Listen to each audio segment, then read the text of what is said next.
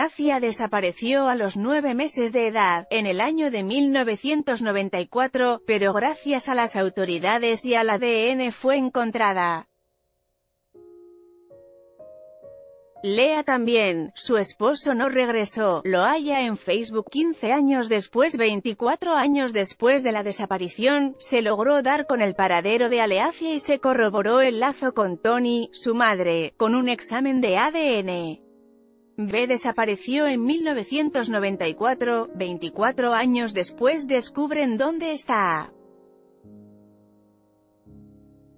Foto ilustrativa, Pixabay también, pruebas de ADN deben ser el último recurso a utilizar. Tony dejó a su pequeña al cuidado de un amigo ya que ocupaba aclararse la cabeza, dos días después volvió por su hija, pero ya no estaban.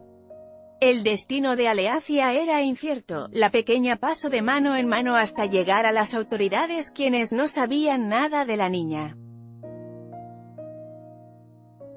Tony cayó en prisión y casi un año después, fue cuando reportó la desaparición de su hija.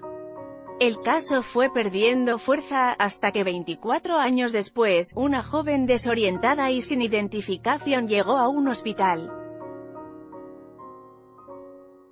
La enfermera buscó en la base de personas desaparecidas para intentar identificar a la mujer y fue la imagen de progresión de la edad quien le dio la respuesta, que ni Aleacia conocía. Desafortunadamente, Tony jamás se reunirá con su hija, pues ella fue asesinada en 1995, informó a Family.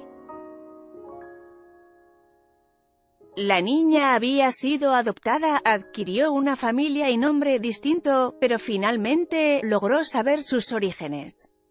En esta nota, ADN desaparición bebé encuentran